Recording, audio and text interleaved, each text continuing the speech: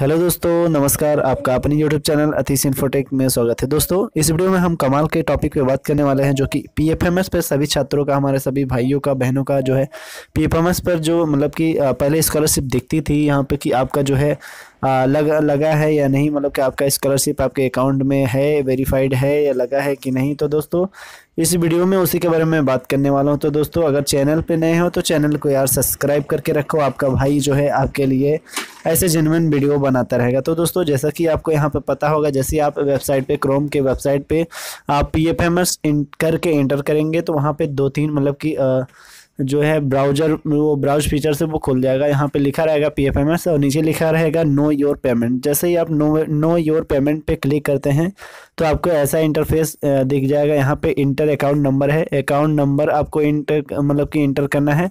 उसके ऊपर यहाँ पे मैं स्क्रीनशॉट मतलब लिया हूँ थोड़ा सा कट गया है यहाँ पे बैंक का नेम होगा। बैंक का नेम आपको जैसे सिलेक्ट करना है, मैं बता दूँ कि आपको दो तीन अक्षर बैंक का लिखना है, उसके बाद आपका बैंक का नेम वहाँ पे आ जाएगा, उसको क्लिक कर करके आपको दोनों अकाउंट नंबर पे जो है एक पे डालना है तो जैसे कि यहाँ पे दिख रहा है मतलब कि जम्मू और कश्मीर बैंक एलटीडी है। उसके बाद बैंक अकाउंट नंबर सेम आपको यहाँ पे कॉपी कर देना है, उसके बाद आपको कैप्चा फिल करके send OTP on register mobile number पे जैसे ही आप क्लिक करते हैं तो दोस्तों यहाँ पे मेरा तो ऐसे ही दिख रहा था और आप सभी का मुझे आशा है कि जैसा आपका प्रॉब्लम था कमेंट्स था तो यही सब दिख रहा होगा। Registered mobile number not found with the account number यही शो हो रहा होगा। दरअसल मैं बता दूँ, ये जो प्रॉब्लम है, आज से नहीं, लगभग मतलब कि आज से 25 से 25 या 30 दिन मतलब एक महीने लगभग ऐसे ही प्रॉब्लम ये दिख रहा है पी एफ़ एम एस के नो योर पेमेंट पे। आपको मैं दूसरा ऑप्शन भी बताऊँगा, कहाँ से आप अपना जो है स्कॉलरशिप वो चेक कर सकते हैं। सबसे पहले मतलब कि जो प्रॉब्लम है उसको ऑप्टिमाइज कर लेते हैं, उसको देखते हैं। यहाँ पे register mobile number not found ऐसे ही दिखता है। तो दोस्त आपको यहाँ पे घबराने वाली कोई बात नहीं है आपका ओटीपी जो है आपके रजिस्टर मोबाइल नंबर पे ऐसे नहीं जाएगा। ये एक पी का अपडेट मतलब कि वो अपडेट कर रहा है। अब तो ए से जो है मतलब कि आपको, आपके अकाउंट में जो है स्कॉलरशिप वो आ रही है। यहाँ से मैं आपको देखना बता देता हूँ।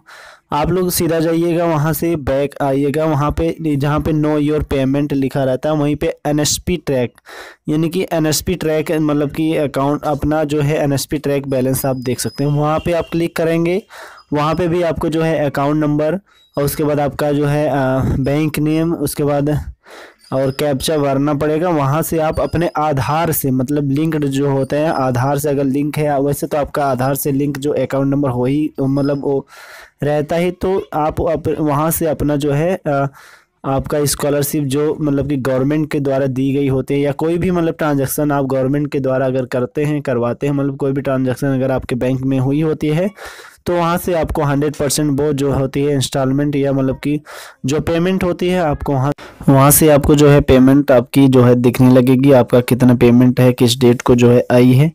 तो दोस्तों ऐसे ही आप अपना पेमेंट जो है वो शो कर सकते हैं। इसके बाद भी अगर आपको कोई प्रॉब्लम है तो आप मतलब कि कमेंट करके आप हमें बता सकते हैं स्कॉलरशिप से रिलेटेड यूनिवर्सिटी के से रिलेटेड अगर कोई भी प्रॉब्लम है तो आप बता सकते हैं। दोस्त मैं आ, मतलब कि पूरी हंड्रेड तरीके से आपको सही जेनविन तरीके से आपको जो है नॉलेज देता रहूँगा। तो दोस्तों चैनल पर नए हैं तो चैनल को फिर से एक बार हाथ जोड़ के निवेदन है चैनल को सब्सक्राइब करें बेलाइकन को प्रेस करें। Thank you